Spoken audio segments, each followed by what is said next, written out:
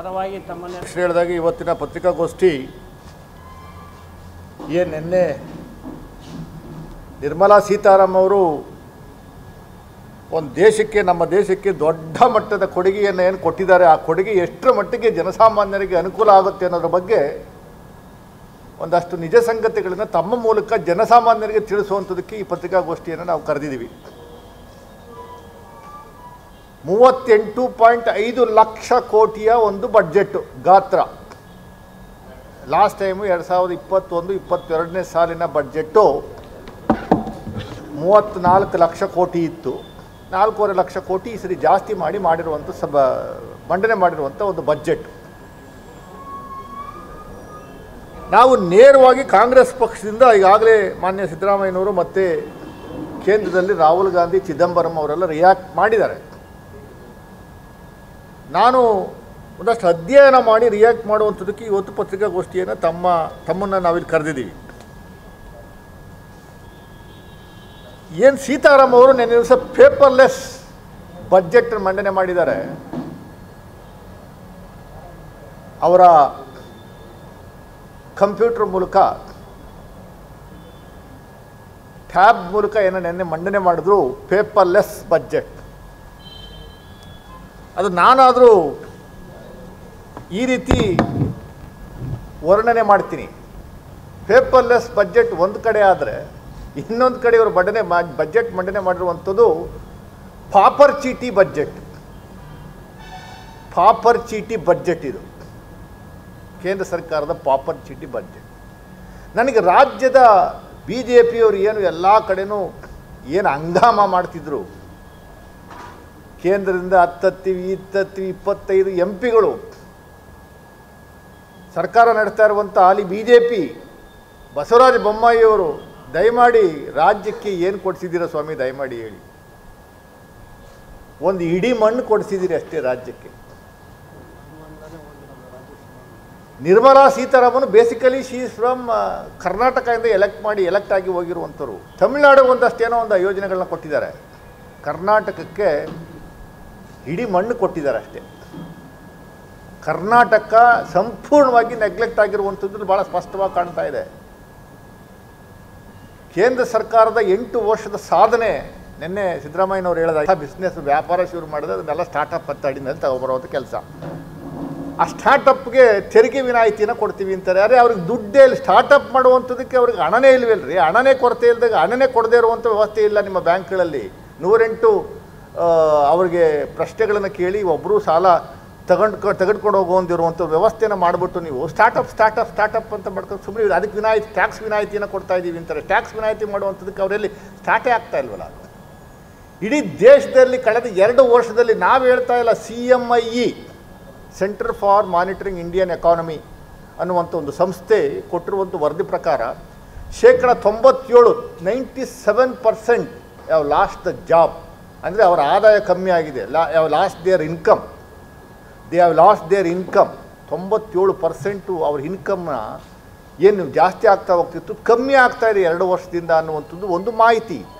ಆಮೇಲೆ ಹನ್ನೆರಡು ಪಾಯಿಂಟ್ ಎರಡು ಕೋಟಿ ಜನಸಂಖ್ಯೆ ಇನ್ಕ್ಲೂಡಿಂಗ್ ಕಾರ್ಮಿಕರನ್ನು ಸೇರಿಸಿರೆ ಕೆಲಸ ಕಳ್ಕೊಂಡಿದ್ದಾರೆ ನಮ್ಮ ದೇಶದಲ್ಲಿ. ಹನ್ನೆರಡು ಪಾಯಿಂಟ್ ಎರಡು ಕೋಟಿ. ಎರಡು ಸಾವಿರದ ಇಪ್ಪತ್ತು, ಇಪ್ಪತ್ತೊಂದರಲ್ಲಿ, ಇಪ್ಪತ್ತೊಂದು, ಇಪ್ಪತ್ತೆರಡನೇ ಸಾಲಲ್ಲಿ ಎರಡು ಪಾಯಿಂಟ್ ಏಳು ಕೋಟಿ ಜನಸಂಖ್ಯೆ ಕೆಲಸ ಕಳ್ಕೊಂಡಿರುವಂಥದ್ದು ಅವರೇ ಹೇಳ್ತಾ ಇದ್ದಾರೆ.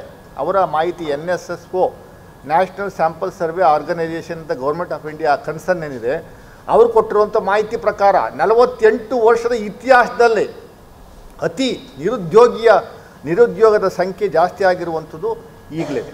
ಕಳೆದ ಮೂರು ವರ್ಷದಿಂದ ನಿರ, ಅತಿ ಹೆಚ್ಚಿನ ನಿರುದ್ಯೋಗ ಇರುವಂಥದ್ದು ನಮ್ಮ ದೇಶದಲ್ಲಿ ನಾವು ಕಾಣಬಹುದು. ಇದೇನಿದು?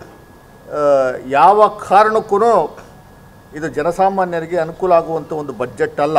ವೇತನದಾರರಿಗೆ, ಬಡವರಿಗೆ, ಮಧ್ಯಮ ವರ್ಗದವರಿಗೆ, ನಿರ್ಗತಿಕರಿಗೆ, ಯುವಕರಿಗೆ, ರೈತರಿಗೆ, ಸಣ್ಣ ಕೈಗಾರಿಕೆಯವರಿಗೆ, ಬೀದಿ ಬದಿ ವ್ಯಾಪಾರಿಗಳಿಗಂತೂ ಚಿಪ್ ಕೊಟ್ಬಿಟ್ರು. ಒಂದು ಪೂರ್ತಿ ಒಂದು ಚಿಪ್ಪನ ಮೂರು ಕಣ್ಣಿನ ಚಿಪ್ ಕೊಟ್ಟವ್ರೆ. ಭಿಕ್ಷಾಂದೇಹಿ. ಭಿಕ್ಷ ಬೇಡಕ್ಕೆ ಒಂದು ಚಿಪ್ ಕೊಟ್ಟಿರುವಂಥದ್ದು ನಾವು ಕಾಣ್ತಾ ಇದ್ದೀವಿ. ಇದರಲ್ಲಿ ಬಡ್ಜೆಟ್ಗಳು ನಿರಂತರವಾಗಿ ಅವ್ರು ಏನು ಮಂಡನೆ ಮಾಡ್ತಾ ಇದ್ದಾರೆ, ಅದನ್ನು ನೀವು ಭಾಳ ಸೀರಿಯಸ್ ಆಗಿ, ಗಂಭೀರವಾಗಿ ಗಮನಿಸಿದ್ರೆ, ಅದು ಖಾಸಗೀಕರಣ ಮಾಡುವಂಥ ಒಂದು ವ್ಯವಸ್ಥೆ ಉನ್ನಾರ ಪ್ರತಿಯೊಂದು ಇಲಾಖೆಯನ್ನು, ಪ್ರತಿಯೊಂದು ಫೀಲ್ಡನ್ನು ಪ್ರೈವೇಟೈಸ್ ಮಾಡುವಂಥದ್ದು. ವಿದ್ಯುತ್ ಇರ್ಬೋದು, ನೀರಿನ ಸರಬರಾಜು ಆದಿಯಾಗಿ. ರೈಲ್ವೆ ಇಲಾಖೆಗೆ ಈ ಬಡ್ಜೆಟಲ್ಲಿ ಅಫಿಷಿಯಲಾಗಿ ಘೋಷಣೆ ಮಾಡಿದ್ದಾರೆ. ನಾನ್ನೂರು ಒಂದೇ ಭಾರತ್ ರೈಲುಗಳನ್ನು ತಗೊಂಬರ್ತೀವಿ ಅಂತ. ಎಲ್ಲಾದರೂ ಒಂದೇ ಭಾರತ್ ರೈಲುಗಳು, ನಮ್ಮ ಇಂಡಿಯನ್ ರೈಲ್ವೇಸ್ ಮೂಲಕ ತರ್ತೀವಿ ಅಂತ ಹೇಳಿಲ್ಲ ಅವರು. ಒಂದೇ ಭಾರತ್ ಅನ್ನುವಂಥ ಹಡಿನಲ್ಲಿ ನಾನ್ನೂರು ರೈಲುಗಳು ಅಂದರೆ ಖಾಸಗಿ ಅವರಿಗೆ ಕೊಡುವಂಥದ್ದು. ಈಗ ಆಲ್ರೆಡಿ ನೂರೈವತ್ತು ರೈಲುಗಳು ಹಾದಾನಿಯವರ ಗುಂಪ, ಗ್ರೂಪ್ಗೆ ಕೊಟ್ಟಿದ್ದಾರೆ, ಅದು ಓಡ್ತಾ ಇದ್ದಾವೆ ಸುಮಾರು ತೊಂಬತ್ತ್ಮೂರು ಲಕ್ಷ ಕೋಟಿ ಸಾಲ ಮಾಡಿರುವಂಥದ್ದು. ಅಂದರೆ ಒಬ್ಬರ ತಲೆ ಮೇಲೆ ನೂರ ಮೂವತ್ತೆಂಟು ಕೋಟಿ ಜನಸಂಖ್ಯೆಯರ ಒಬ್ಬರು ಪ್ರತಿಯೊಬ್ಬರ ತಲೆ ಮೇಲೆ ಒಂದು ಲಕ್ಷದ ಇಪ್ಪತ್ತೇಳು ಸಾವಿರ ಒಂದು ಲಕ್ಷದ ಇಪ್ಪತ್ತೇಳು ಸಾವಿರ ರೂಪಾಯಿ ಸಾಲ ಮಾಡಿದ್ದಾರೆ. ಪ್ರತಿಯೊಬ್ಬರಿಗೂ ಹಂಚಿದ್ರೆ ಒಂದು ಲಕ್ಷದ ಇಪ್ಪತ್ತೇಳು ಸಾವಿರ ರೂಪಾಯಿ ಸಾಲ ಮಾಡಿರುವಂಥದ್ದೇ ಬಿ ಜೆ ಪಿಯವರ ದೊಡ್ಡ ಮಟ್ಟದ ಸಾಧನೆ ಇದು. ಎರಡನೇದು,